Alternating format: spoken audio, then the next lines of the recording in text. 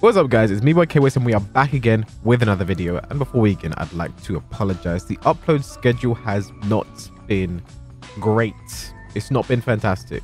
I'm gonna have to keep it real with you guys. I've been slacking on that and I will do my best to fix it um, but I cannot promise anything because over the next month or two whatever I'm all over the place. I'm traveling a lot. There's a lot of tournaments going on. Um, so yeah, the first thing I have to do in this video is apologize and the second thing I have to do to you guys in this video is announce that I, Kenneth William Wizzle, I am going to become a millionaire. That is what I have to announce to you guys right now. Well, not exactly. Let me explain. I don't know if you guys are aware, but the Gamers 8 Invitational Tournament happening in Saudi Arabia next week.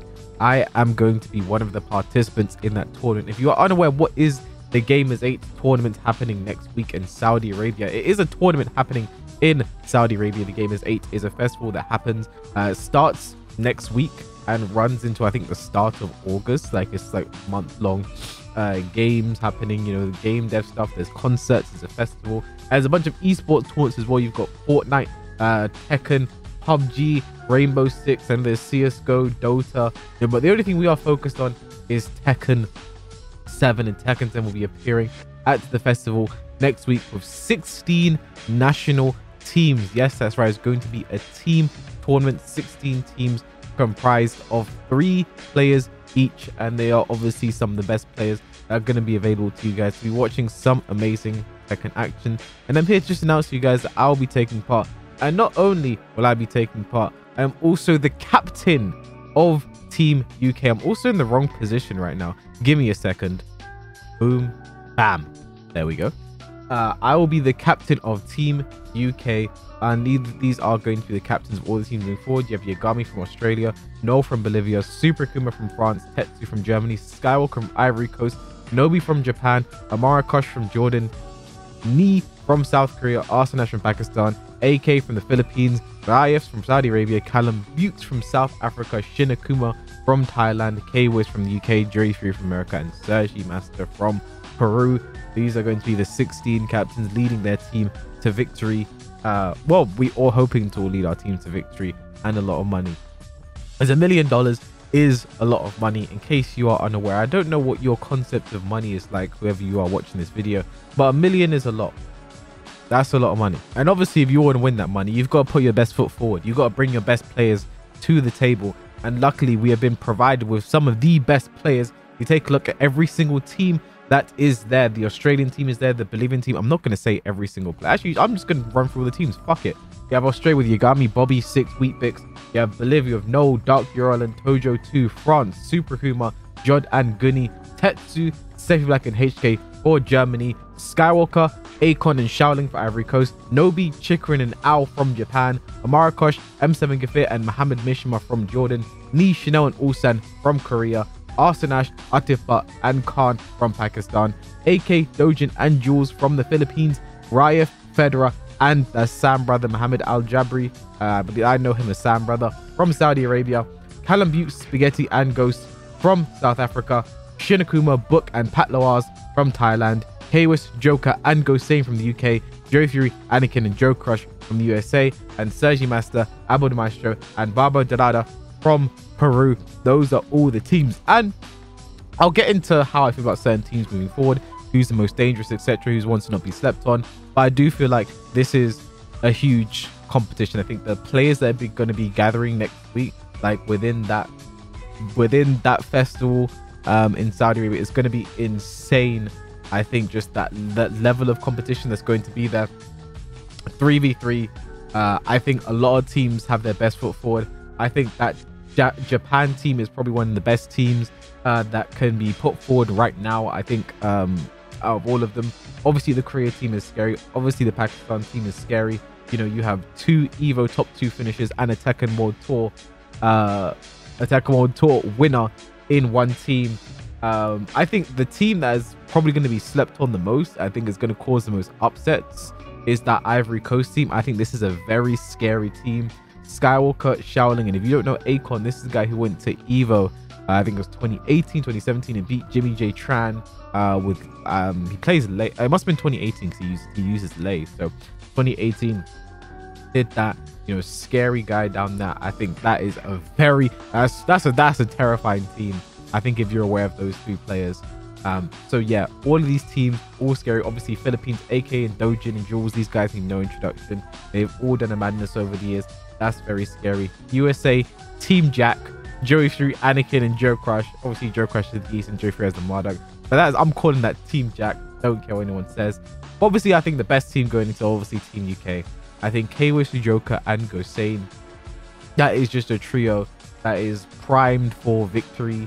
I don't see any team better than that team right there. And I'm looking forward to seeing what they are able to do next week in Saudi Arabia. But honestly, definitely, I think the team that I have been provided with, I'm very happy with. I'm very happy with these players. I think Joker and Gosane. Joker is one of the best players in the world right now. And Gosane has been Mr. Consistent. Uh, that guy knows exactly what to do. Um, and I think we are all players that when the lights are on, uh, when we're on that big stage, we have proven that we don't let that phase us. So I'm excited to see what we're able to do next week. And we will definitely be looking for a top eight placement because this is what the payout will look like for making a top eight placement. Obviously, 16 teams, there'll be eight teams that do not, that walk away with zero, zero dollars. But there are eight teams that will walk away with a nice chunk of change. Even finishing seventh to eighth, you walk away with twenty thousand dollars. That is what uh around six point six thousand uh for each player. That's a lot of money, you know. That's nothing to scoff at. It's still a lot of money, especially in, in this FGC or poverty, etc. That's a lot of money to walk away with. 56 walk away with 40,000. Fourth walks away with 80,000. Third walks away with walks away with 100,000. Second walks away with 200,000, and first walks away with 500 thousand dollars, about 160k between each team member. The only thing that annoys me is they didn't do the numbers that in a way that is like divisible by three. Because obviously there's three teams. Uh, sorry, there's three players in each team, so it's like it's gonna be awkward divisions. Um, but either way, it's just what what what an event uh, for the people. Because I think stuff like like I think every single player that comes to this event will be coming with their absolute best. I think I think this is going to mean a lot to a lot of people. This this is this is life changing money, especially that first place. That's 150k plus, you know, for each person walking away. That's a lot of money. I, I don't know that's retirement from the Tekken community forever money, but that is still a lot of money. I know a lot of people will be vying for it. A lot of people will be gunning for it. I know me, myself, and my team have been working very hard over the past month or so. We've known we've been going to be a part of this, and we're just ready to put in the work. We're ready to go out there, ready to do our best. And you know, these because the thing is, these are not, I don't think any single team here is to be underestimated. You know, you might look at someone like Australia, like, I don't know any of these guys. You know, Yagami was at the Tekken World Tour Finals last year. Even though he didn't have the best performance, he still managed to to play against these players like Chanel, like Joker, like AK, and give all of them a run for their money. And he's definitely someone to, to watch out. Someone he definitely is someone to watch out for. And he himself says he is not even the best player in this region. A lot of people saying Bobby is the best player in Australia right now. So the fact that he says there's someone even better than him in the region ready to go and play, you know, is definitely scary, someone to watch out for. I think a lot of those those regions well will be looking for a chance to, uh, I think, prove themselves because some of these regions like South Africa, like Ivory Coast, like Jordan, we don't get to see them very often. And they don't really get a chance to shine on the main stage. They'll be looking to take this opportunity. They'll be taking the ball by the horns and do whatever they can to make a statement. And obviously for the for the regions we're expecting to do well, your Germany's, uh, USA, UK, Philippines, Korea, Japan, Pakistan. This is just another chance to, you know, because region rivalry is hot right now. Pakistan versus Korea is heating up. You know, Arslan Ash might by the end of Tekken 7 might establish himself as the Tekken 7 GOAT. But Korea, for a long time, we've been saying is potentially the best Tekken region. Japan has always felt slept on, and then they came out and won Tekken World Tour with Chikurin in 2019. Japan versus Korea is always very interesting when they do their team battles. We've yet to have a Pakistan versus Korea team battle, by the way. Um, but we've had all of these and all of these different events. Everything's leading up to it, and this is probably the moment where everything bubbles up. You know, there's a million dollars on the line. Everyone is gonna come with their absolute best. And I think as a spectator, I think you guys are going to definitely enjoy this. When I find out the details of where it's going to stream, etc., I'll let you guys know as soon as I possibly can. Um, but yeah, as a spectator, I'm sure you guys will have uh, will be seeing the best Tekken you possibly can be seeing, maybe all year. As a competitor, it will be the most nerve-wracking thing a lot of us will have done. Um, me personally, obviously I'm nervous. It happens to everyone, but it's how you deal with those nerves. I'm used to this. I've played a lot of these players before. I've been a lot of these players before. I'm excited going into it. I feel like I'm in very good form right now. Um, my training's been paying off, and I'm, just looking forward to seeing how everything pans out. Obviously, that first place looks amazing. That second place, third, even fourth place looks amazing. Um, but I think for my team right now, from the way we've been speaking to each other, the way we've been dealing with it, I think for us, even though the money is there, this win is a big statement right now. Because if you're paying attention to Europe right now, UK versus Germany is quite a big thing going on. People saying Germany's the best region. People saying UK are the best region. AHK went and went, went won one Headstomper. Me and Joker qualify for Tekken Tour finals. Uh, Sephi's been doing this thing internationally. Like it's there's a lot of push and pull right now. This could be the definitive statement when it comes to UK versus Germany. So there's a lot there's a lot of narratives going into this right now. Also, France may be feeling underlooked because everyone's saying UK versus Germany. This could be a chance for them to make it. Like there's a lot of narratives going on, a lot of spinning.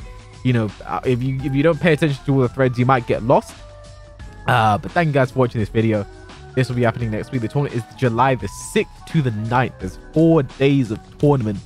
Um, I think two days will be both group stages. Can I think there's there should be there should be four groups.